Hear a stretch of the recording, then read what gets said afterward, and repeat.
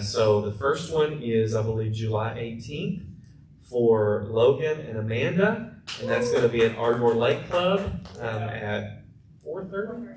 Yes, and then there's another one on. Is it the 31st? Yes, July 31st, the same place that Lake Ardmore Club, but this one's at 2 p.m. Okay, so keep those things in mind coming up. We do. Can I announce the ladies' thing? Okay. There is a ladies' fellowship. Is it the 24th? Saturday, the 24th at 10 a.m. here. And we'll get more details on that as that is approaching, but just want you guys to know that's coming. Uh, also, if you have not uh, registered for greater things in Oklahoma City and you want to do that, uh, please register. Um, if you want a discount code, just contact me and Global Harvest Church members get a discount code. If you want to go, there also are, last I heard, two or three volunteer positions available that will cover your conference fee if you want to volunteer. Okay, and it has to do with the media team and checking people in and all that. So that is an opportunity if you want to do that as well. I don't want to do that, so um, I'm, I'm not there to minister, right? I'm there to receive. But if you want to do that, that is available. All right. Praise God. Any announcements that I missed? I know we have men's meeting not this coming Saturday, but the Saturday after that also. And, uh, and the same day as ACT will be here, right? And if you haven't registered and want to, I'm sorry you're too late. So, praise God. All right. Let's stand. Let's make our offering declaration this morning. And uh, just thank God that we can give in the glory. Thank you for your faithfulness in giving. It allows us to continue to function as a church. So let's make this declaration together. As we receive today's offering, we are believing the Lord for jobs and better jobs, raises and bonuses, benefits, sales and commissions, favorable settlements estates and inheritances, interest and income, rebates and returns, checks in the mail, gifts and surprises, finding money, debts paid off, expenses decrease, blessing and increase. Thank you, Lord, for meeting all of my financial needs, that I may have more than enough to give into the kingdom of God and promote the gospel of Jesus Christ. Hallelujah. Amen. So you can come and give in one of these baskets or this chest. Hallelujah. Praise God. God is faithful. His grace is sufficient. He's good. Yes, amen. He wants to prosper us. Hallelujah. Hallelujah. Thank you, Lord. All right, well, at this time, let's dismiss our nursery, nursery workers, children's church as they go and uh, know that they're going to have a good time in there. Amen. We are equipping a younger generation. Amen. Praise God. And equipping an older generation in here. Amen. So. Well, I want to start this morning with um, a new series called Supernatural Families. Yeah, supernatural families, it's a good thing. And, and, you know, family is God's idea. Right? And, you know, family existed before the church. And, and the church was uh, the original unit by which God wanted to fill the earth with His glory. And now I'm, I'm definitely in favor of, of organized church. It's, it's scriptural. But, uh, you know, the marriage and family came before the nation of Israel and before the church. And uh, the church, the organized church, is a reflection of what the family is like. And so if you have broken families and broken people, the church is going to be filled with broken families and broken people. Yes right? And and uh, the nation itself is a reflection of what the church looks like. Yes. So if we want to have a nation that is following after God and that's living in godly principles, we have to focus on establishing godly families. Amen. Yeah. Godly marriages, Yes. godly children. Because the reality is, a, a generation, right, um, when it comes to family and what it comes to um, training up our children and equipping our children, though a generation that doesn't value being part of the church, the next generation will not value God. Right.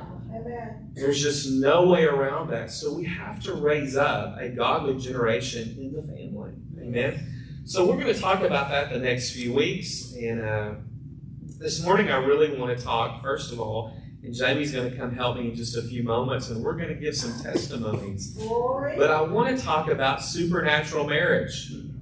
On.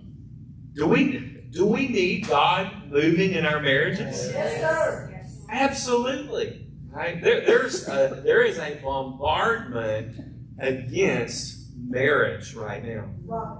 Right? And uh, so I think we have to get a biblical perspective of what marriage and even a biblical perspective of what dating is supposed to look like. Right? Yes. Because here's the real danger in our society. Of course, you know, many people are turning from the church, many people are turning from things like biblical ideas of identity and sexual identity and all those things, Right. biblical ideas of what the family is supposed to look like. And a lot of times there's a real danger that we compartmentalize our life, That's good. right? That I serve God in this area, but in my relationships and in my family relationships, I have a secular mindset. Uh-huh. Oh, that's good. right? When God wants a biblical mindset to cover every aspect of our lives. Amen. And because we've done that, it has seriously affected our society in the moment in which we're living. And so we're going to spend, I I don't know about you, and I, I like my marriage, but you know what? I want it to be better. Yes. My wife probably wants it to be better. All right? Uh, I like my children, and I think I have godly children. I love my grandchildren, but I want to make sure that I'm appropriating the values and the culture of the kingdom of God in my home and in my family because here's what we do, right? I want to read, first of all, let's just read Romans 12, 1 and 2 real quickly before we get started. Because how many know the culture tries to change our perspective? Yes. Oh yes. Whether we realize it or not, we get impacted by culture. We're constantly bombarded.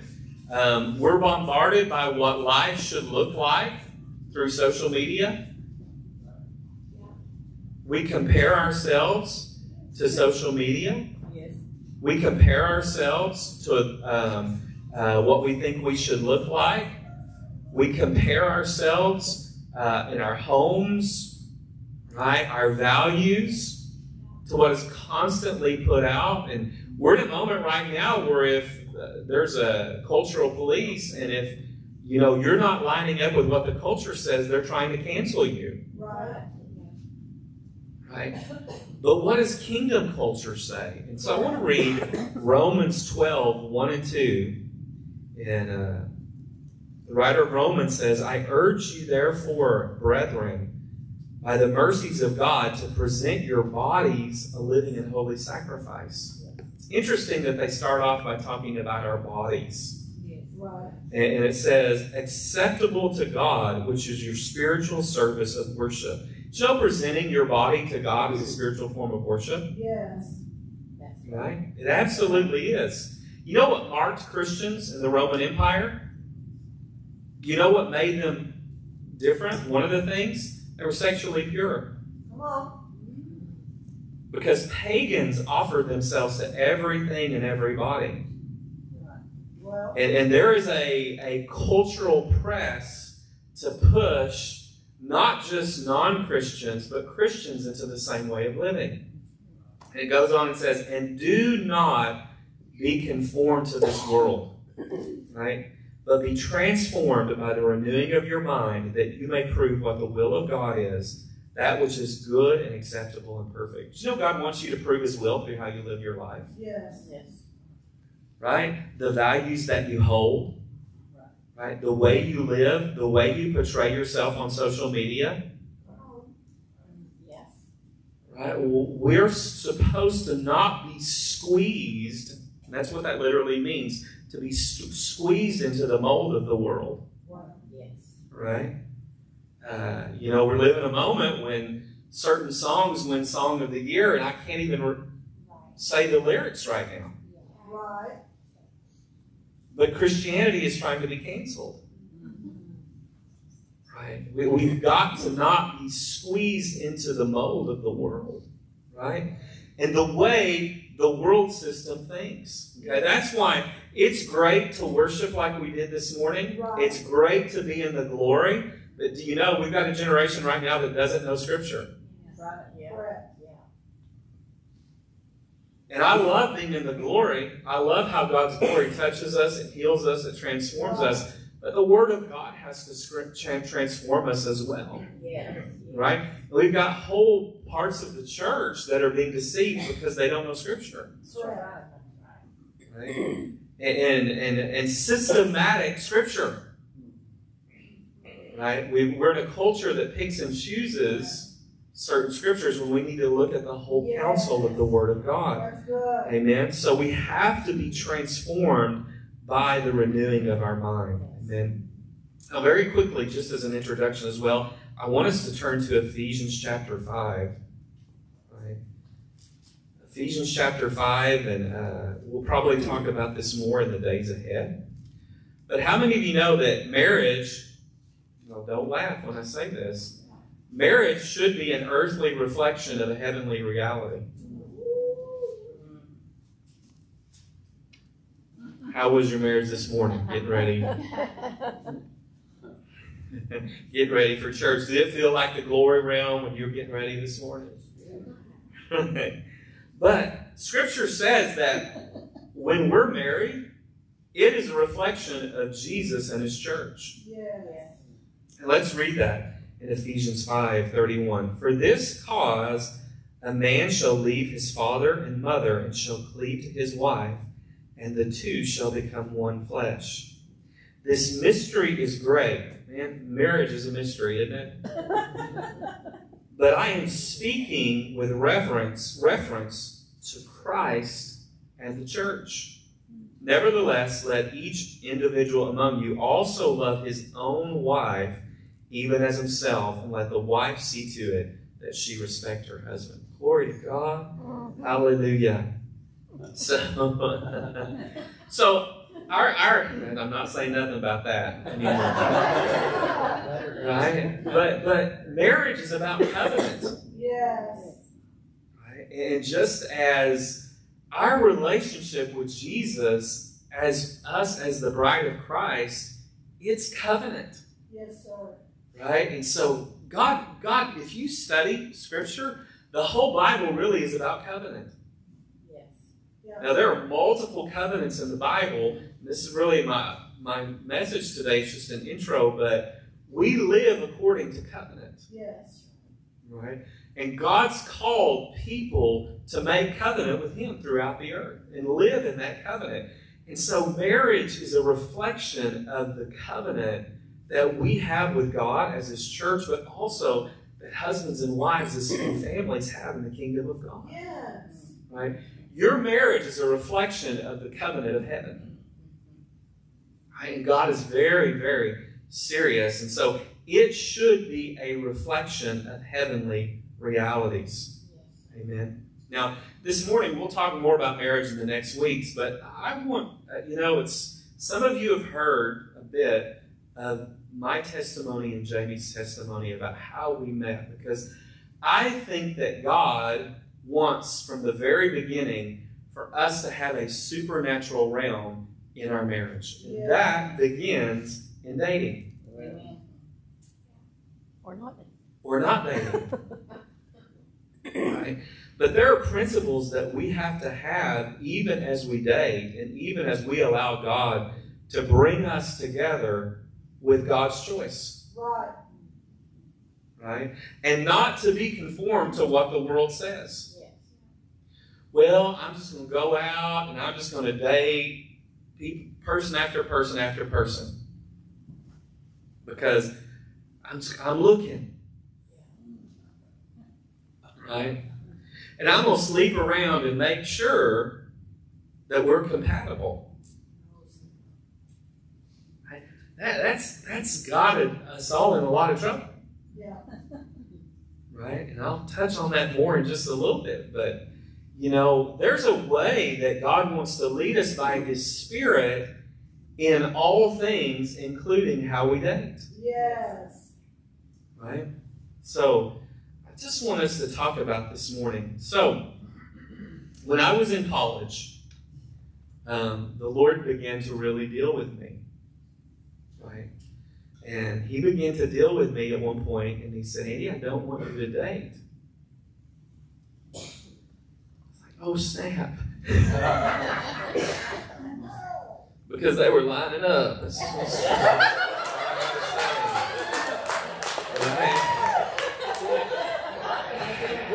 Yeah. because let's face it, when you are a godly guy, college age, everybody's grandma is trying to fix you up.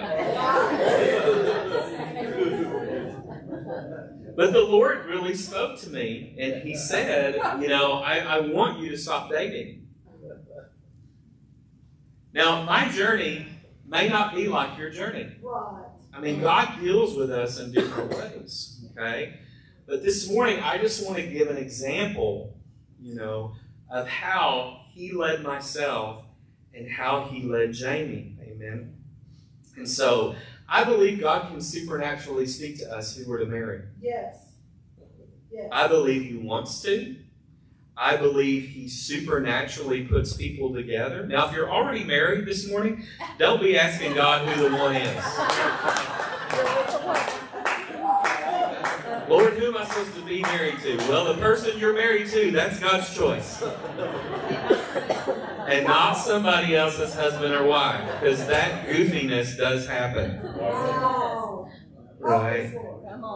Lord, who's my spouse? Well, it's not that guy over there married to that other lady or vice versa. No, God doesn't do that. Right. No matter what kind of voice you're hearing, because that's probably the voice of your flesh, and that's probably some devil of dead devil, some spirit of lust that's directing you. Right.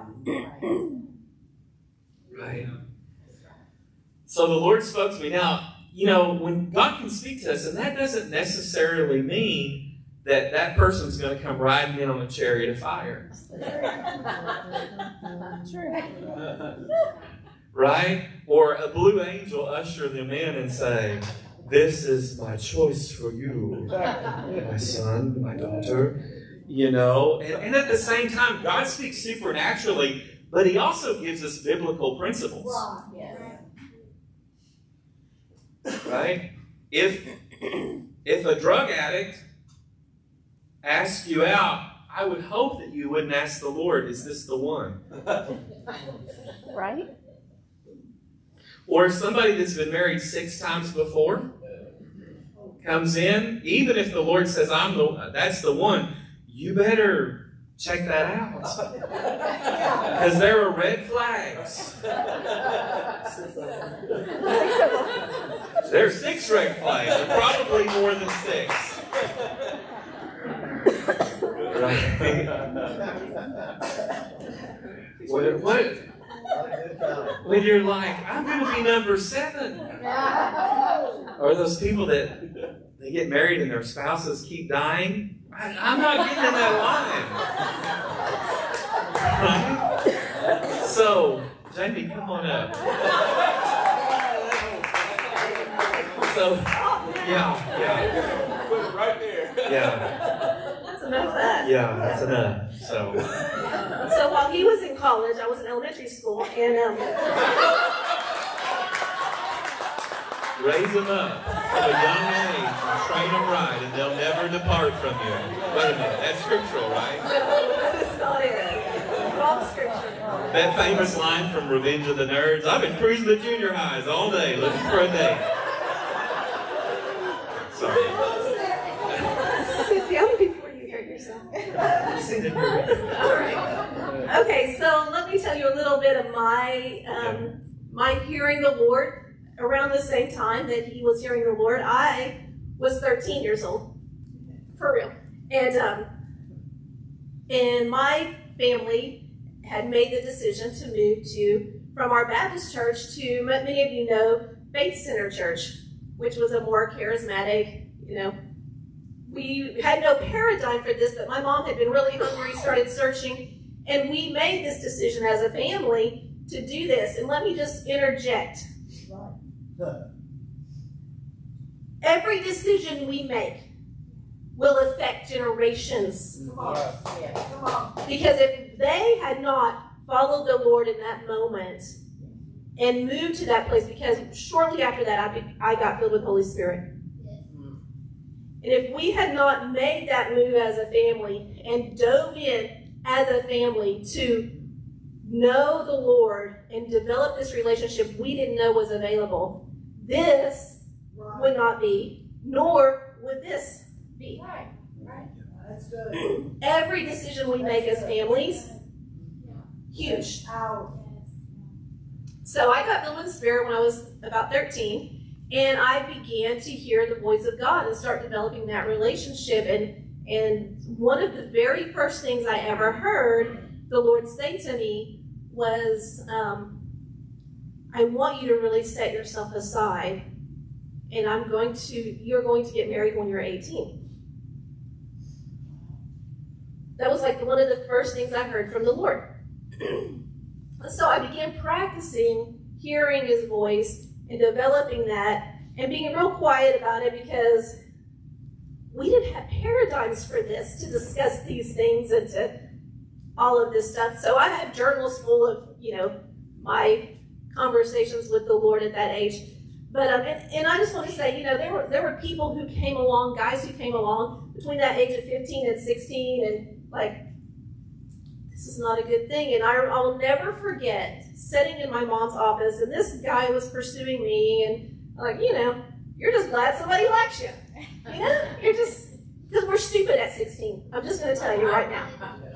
We don't make good decisions without the Lord. But you know what? Your 16 year old can make wise decisions, and they can hear the Lord.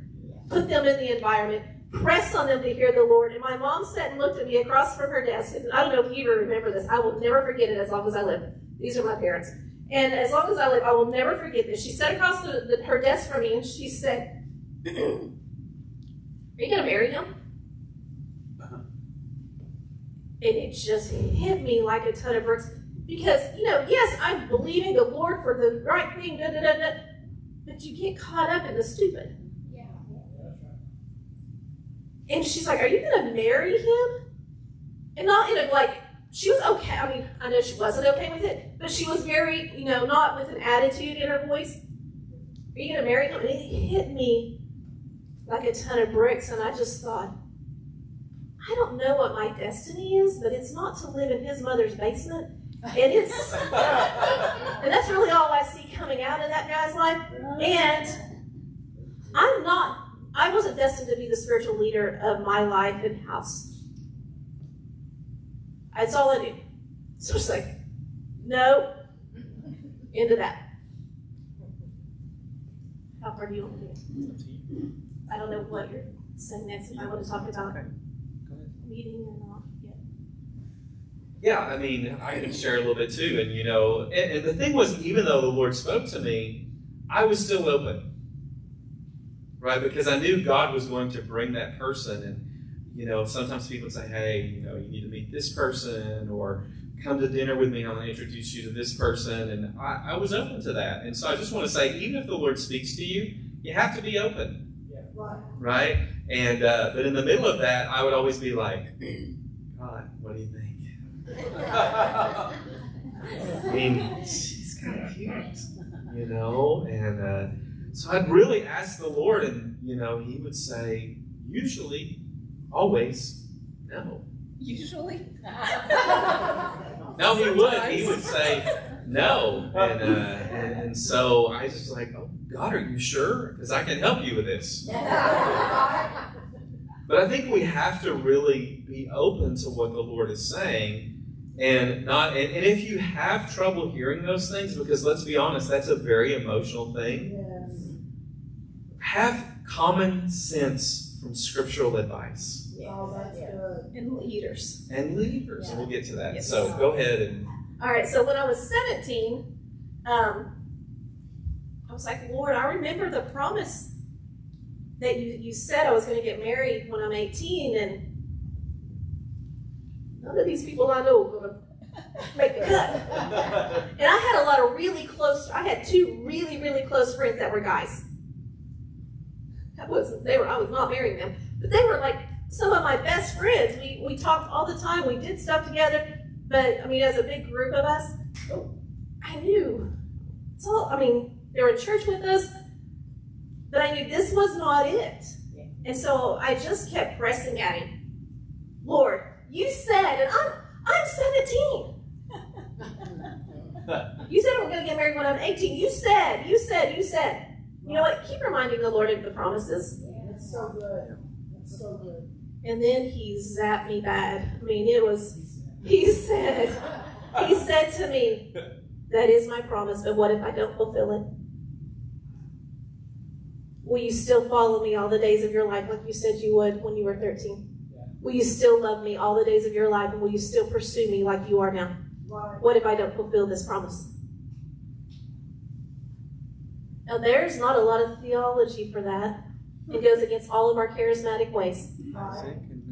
I know, but in our charismatic life, Yeah. I bless me, Lord. It's all about me.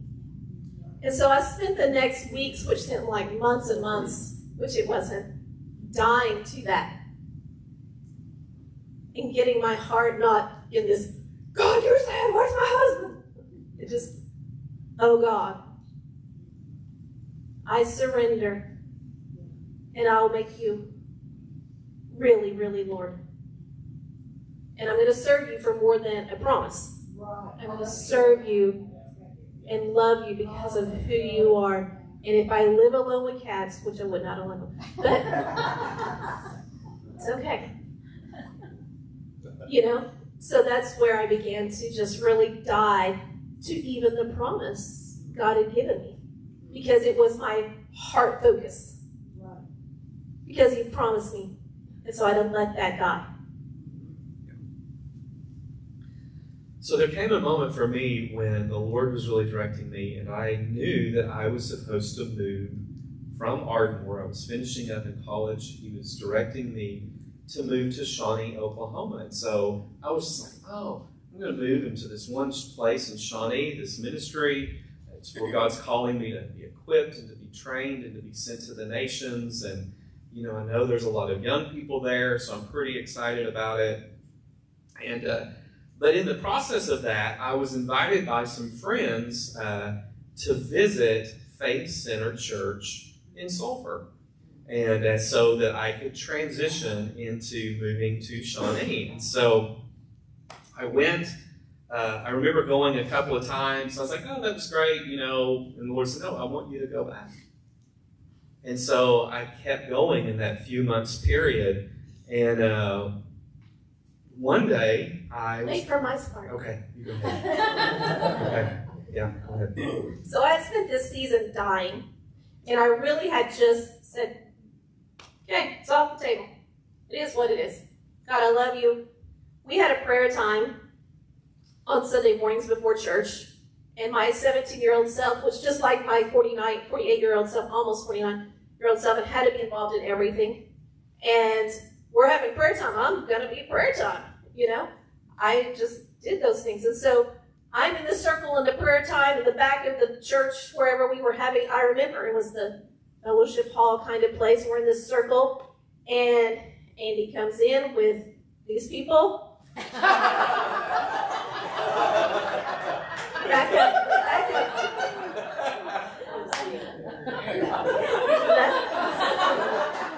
We got that on video.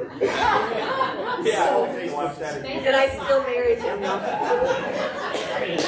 Okay, so nothing. He walks in, nothing's phasing me. And so they're So he's they're introducing him to everyone in this circle. He's shaking hands, he's shaking hands, he gets to me, he shakes my hand. No, but the Lord spoke to me. This is your husband. And I was just like, all right. Because I had died. I know, so there was nothing there. I was like, all right. Lord, I'll carry my cross. And this is the one. I'm a little disappointed, but I didn't know who he was, nothing. I just, we're just introduced. This is Andy, this is Jami, meet Andy. And I was like, okay. He, I, he never even noticed me. So don't, don't even. It took him weeks to even notice I was alive. I knew she was really young. Just trying to stay out of jail. All right, go ahead. So I've been going here visiting for a few weeks, and uh, one day I was praying, and uh, as I began to pray, uh, I saw Jami's face, and I, I knew nothing about her. I didn't know her name. I didn't know her age. I knew nothing. Didn't even know when I never even, nothing. But I began to see her face, and suddenly the Lord opened up her heart. And I saw virtue, and I saw purity, and I saw excellence. So I'm just going to say, girls, guys are really looking for that, whether you think they are or not. Right? And don't be the one that they experiment on and then go looking later for somebody that has purity, virtue, and excellence. And I just was like, oh God, what's going on? Because I knew at that moment that I was supposed to marry this girl. And I was very scared because I knew nothing about her. So, my friend that had invited me to church originally, they lived here in Ardmore. And so after that experience, uh, um, she worked at Mountain View Mall, which is now the shops at Ardmore and everything. And so I was there one day, and that's when people actually had, stores and stuff. And uh, so, so I had gone by and I was talking to her, and I, you know, nonchalantly said, "So, I found out her name was Jami through a mutual friend." And I asked my friend, "So, tell me about this girl, Jami." And she just started telling me a little bit about who she was and Little did I know, two or three days before I went and asked my friend about Jami, the Lord had given her a vision Uh, of us ministering together as husband and wife all over the world. So God's good, amen. And God is supernatural. Now, my friend was wise, and she didn't tell me about that. Because sometimes there are things, secrets God tells us, He didn't want us to tell at that moment. That's right. That's so good. And she actually didn't tell me that she'd seen that, I think, our wedding day. Because she wasn't. case we manip- changed our mind. yeah. Okay, she was wrong. But but at the same time, not to manipulate things. That's so good. That's You know? And, and let God do his work. And honestly, let us decide because I think sometimes even though when God does stuff, he still does give you a choice. Right. He does. Right? So Well, and at the same time, I had gone, I remember going to lunch with my dad. And it's like we had this weird church, it doesn't matter. Anyway, we were at lunch. And um, the dynamic of what the services were, times were different. It was a weird time.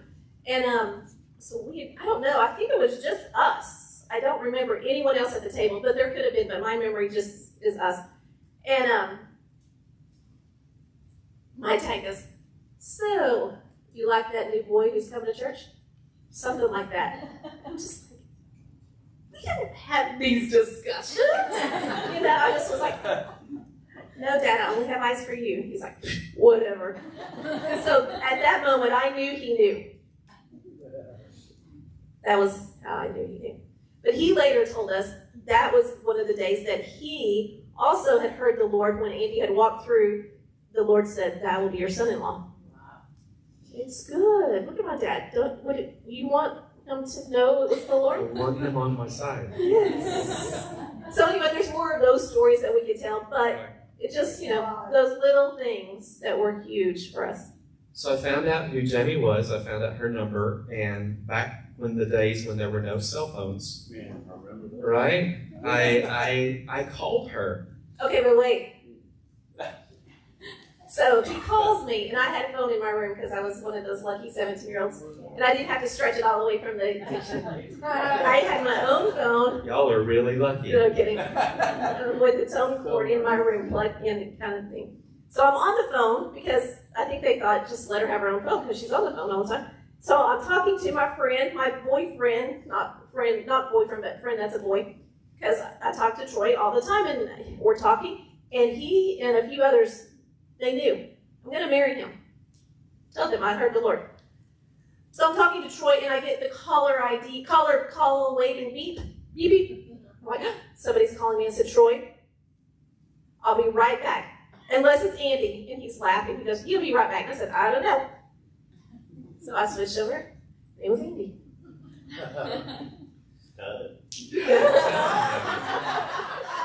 So we talked.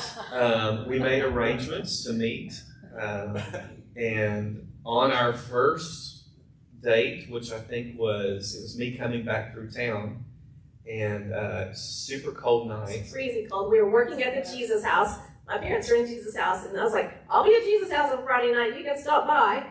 So Sulphur is such a small town. They'd given me directions and said turn at the stoplight, and forgot there were actually two stoplights. I was lost, I think, and uh, we finally met, and we were at Hardee's in Sulphur, Oklahoma. And I'm going to say, don't do this. Ever. But we both began to tell each other the Lord's spoken to us that we're supposed to get married. And So stupid. don't ever do that. That's so creepy. right? What what a line. Hey baby, the Lord says I'm gonna marry you. So the That's a sign in heaven. Look, there's glory on me for you, baby. No, don't do that. Do you know how many people have told us, told us when Olivia was 14, 15, 16 that the Lord spoke to them that they were to marry her? And I was like, move on. Move on. You, you know what? Stay faithful for the next two to three years and we'll see. That's what I would say to them. Two weeks later, they found somebody else the Lord spoke to them about. So, yeah, don't use that line Right. unless you're willing to live it out. Right?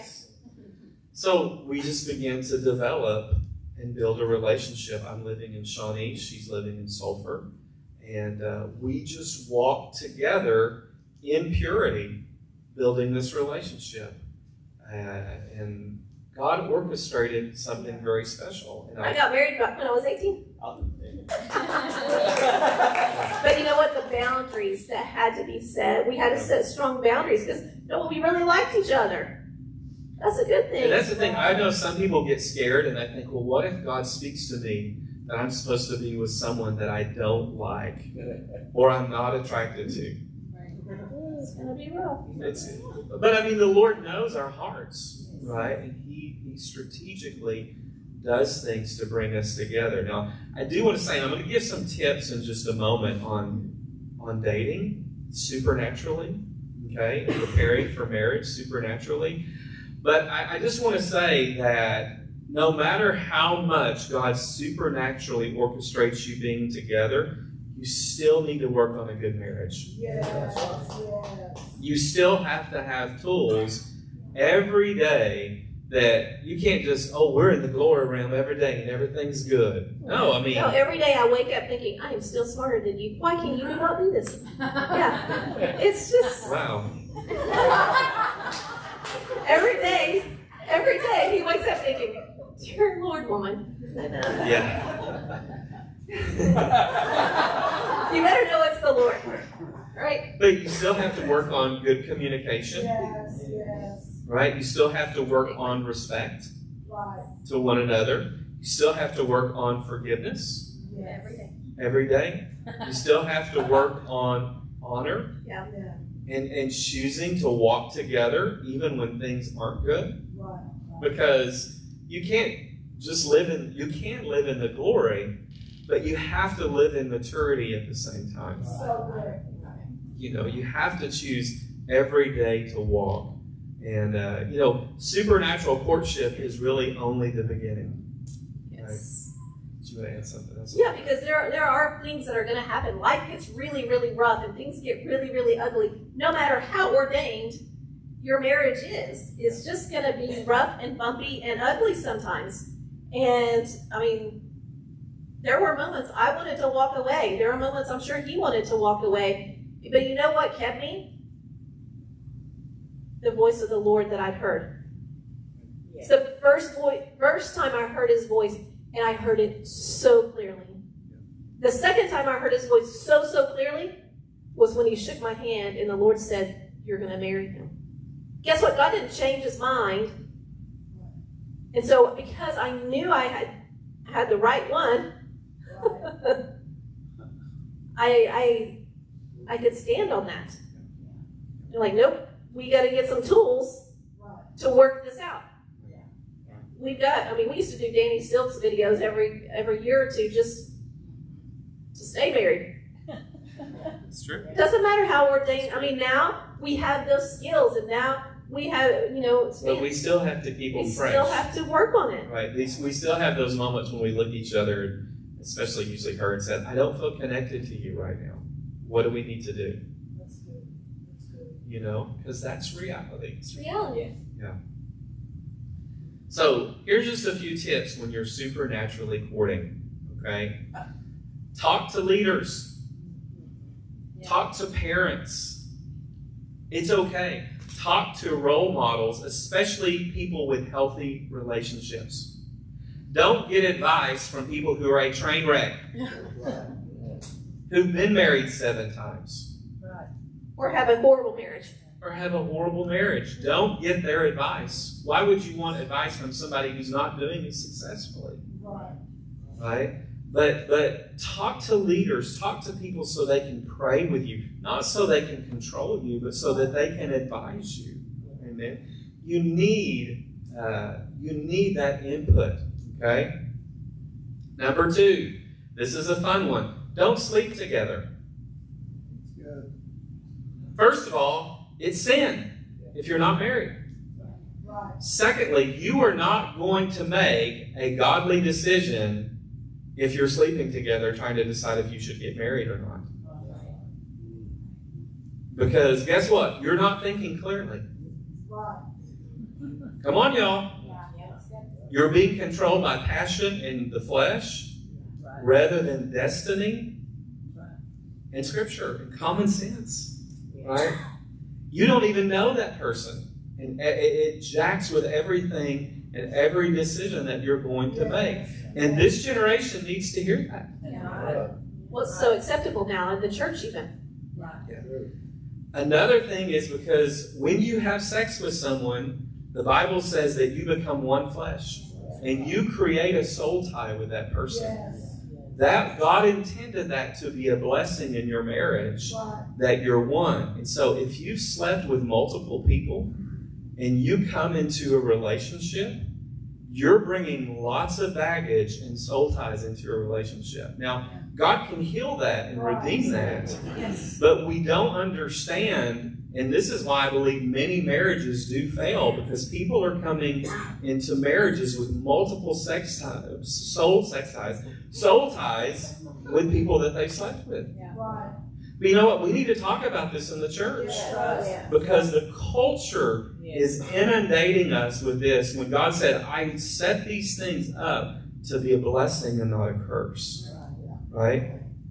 So that's a big one. Well, and because of that, we had to set strong boundaries for ourselves because we both wound up living in Shawnee. So we didn't have a mama and daddy standing there, you know, who would have cracked some. We some weren't heads. living together. We She were lived not. with a I lived with a family. family, but he had his own apartment. But we really, really quickly figured out we can't stay in his apartment by ourselves. We like each other.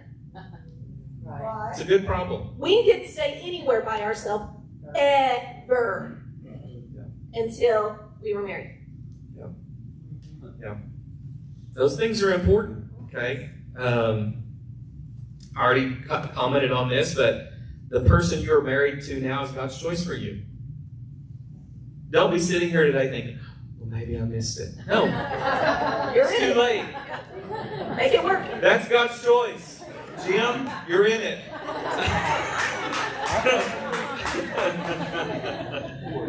but we can all work on having a great marriage Yes. and not being on autopilot just because we've been married a long time. Right? I mean, we've been married 30 years. We've been married longer than we in our lives and before we were married, right? And so, but you know what? We still have to always think how can we have good tools? And it usually just involves me buying patio furniture or I'm just kidding, kind of. Works well. Um, and here's one final one, and this is so common sense, but we're so bad about this. Never, and Jami touched on it, never date someone that you wouldn't marry. Yeah, that's right, yeah. Why? Well, I'm just going to have fun. Wow. That's going to get you in trouble, right? Because you're going to get emotionally and probably physically involved with someone that's going to get you off track. Right. right? Your life, your destiny, the destiny of your future children and grandchildren is worth more than that. Yes. And you know what? Yeah, God's God, you know, God wants to do so many good things. And, and, and if this morning you're like, well, I've messed up, you know, God restores all things. No matter where you are in your life, God can create healthy marriages, healthy relationships, healthy families. And so that's what we're going to explore. I don't know how long we're going to do this, but I think if we're really going to change the culture, Yes. It's really good. We have to say things like this. Yes. Absolutely. Because we have a generation that has no idea sometimes what healthy families and marriages look like. And it's put our nation in a very, very terrible state. It's put the church in a very weak state. And so God wants to take us and having healthy, healthy relationships because you have a supernatural marriage. Right? Whether God spoke to you, maybe you're like, "Wow, did we do it right? Yes, you did. You're here now. You're here now and you're together, and God's going to build something generationally Yes. in all of us that's not just going to bless our home, it's going to bless our churches, it's going to bless our families, our extended families, it's going to embrace. What would happen if fatherlessness Wow. Was no longer an issue in our culture? Our, our country, our culture would look completely different Yes. If fathers would take their place. These are things that we have to talk about to really, really transform culture because it really does begin in the family. And God wants to direct us. Amen. Anything else you want to say? I just want to say, if you're like, well, this has nothing to do with me. Yes, it does, because the whole point is you can hear the voice of God, and He's not keeping it a secret. Right. You don't have to fall face forward into it. He really wants to speak to you, not just about this, not just about that, but everything. He has a plan and He has a purpose, and when we hear His voice and we know what the plan is, we can stick to it. Yes. I mean, right now I'm faced with some situations that reality is do this. But I know what the Lord said. So even though everything looks like I need to do this in the natural, I know what He said. And so I'm hanging on to this. I'm like, God, move. I, you're the, you, you promised. You're not talking about me. No, Okay. I'm going to help you. No, the other day I was like, I really don't know that I can live on my own ever again. I am so spoiled. And that's a good thing, right? Yeah, I like it. But no, but just there, his promises are true. And when everything comes rushing at you, whether it's in marriage or it's just all your life and all the decisions and everything that you're called to do or not called to do or whatever you're in, my goodness, if you don't know what his plan is, you will crater and you'll walk the wrong way because situations will turn you that way. And we know that God can redeem all things. Right. He can he can take us out of bad decisions and some of those uh-huh. things, but We have those stories too, okay? yes, we do. We have those stories, right? But the reality is, there God's wanting to raise up a generation now that can walk with Him Yes, amen. without compromise and with Yes. blessing from the very beginning. Yes. Amen. So. Amen. Let's just stand together this morning. Amen.